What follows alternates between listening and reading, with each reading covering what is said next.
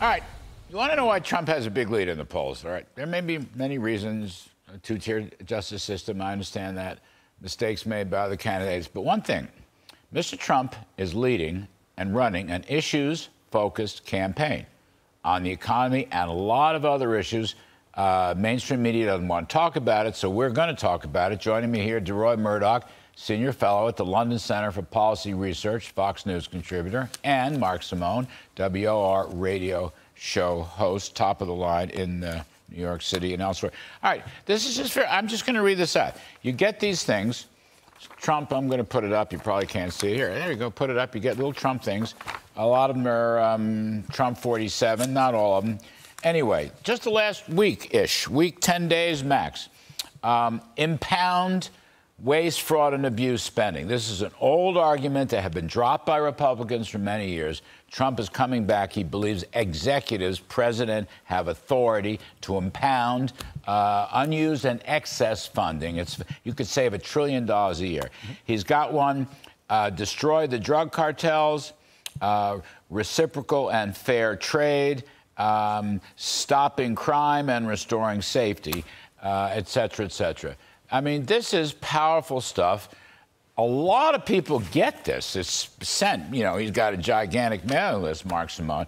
I'm just saying nobody wants to report about it, so I thought I should, because I'm just saying he has the national experience, he has the issues, and he's building on his issues from the uh, last uh, administration. Yeah, he's uh, covered. If you watch the speeches, the rallies, he'll cover 47 different issues mm. in great depth. Then when he does an interview, they'll ask him about 2020. Right. And then they'll say, why is that all he talks about? He talks about everything. And he's got a track record to run on, proven success at this sort of stuff.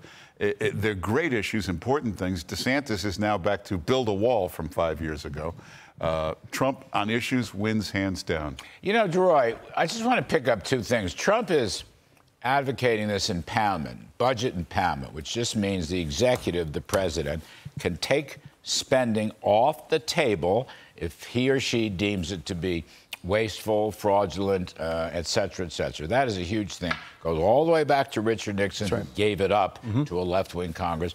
Trump has also said military to deal with the drug cartels. I'm just picking up two key issues. Mm-hmm.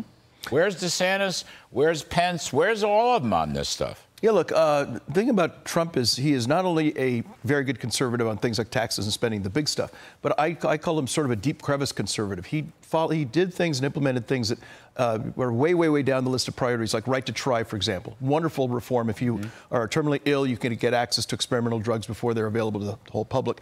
Uh, another thing was to repeal this letter that the uh, Department of Education did that dealt with uh, due process on campus if you're accused of sexual harassment and what have you. So he's not only just doing, you know, heck, I cut some tax, I cut some regulations, I'll relax now. He was finding all sorts of issues in the nooks and crannies that he did as president. That those of us who are in the free market policy world, wow, our dreams come true. We never imagined that would happen. And, and time, week after week after week, he's doing the sorts, sorts, sorts of things for which we've been praying for decades. And here he's talking about things like impoundment, which, as you say, this goes back 40, 50 years, and he wants to bring that back. So it's a terrific. He's not idea. just a loud blowhard, which is how I mentioned this to Steve Moore on the radio. Stuff. Steve went nuts. He thought it was the greatest thing since sliced bread.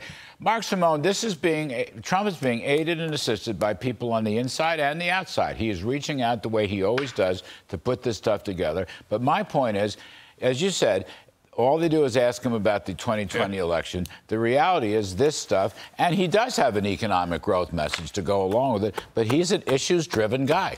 And he's done all this. He's had an incredibly successful four years. So imagine if he goes back at it a second time with a couple of years in between to think about it, plan.